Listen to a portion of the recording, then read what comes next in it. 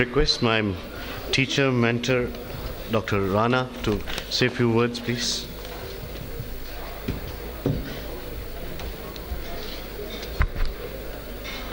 Friends, all of us know that though kidney transplant offers the best choice for patient of kidney- renal failure, but still hemodialysis remains the most popular and viable proposition for prolonging the lives.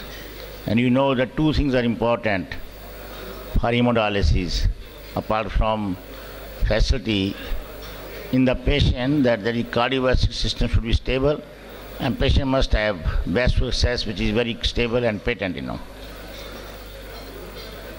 And all of you realize that the hemodialysis facilities are growing at a very exponential growth in the whole country, not only in the largest cities, now in mid-town cities and in the villages also. And the years to come, state governments, central governments, NGOs, private parties, and a lot of players are coming. And a proper best success and other facilities, they are, Dr. Sanjeev Surya is going to address this, they are very important. I will just, I am quite a, uh, very, very proud, we are very proud at Gangaram Hospital of Sanjeev, who is our first student and who is one of the very eminent nephrologists, not only in the city of Delhi, but in the whole country.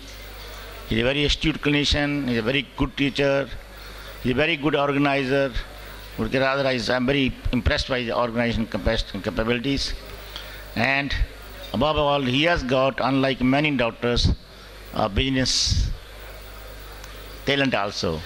And uh, so, congratulations, Sanjeev, to you. And with these few words, I welcome you all for this conference. Thank you very much, and thank you.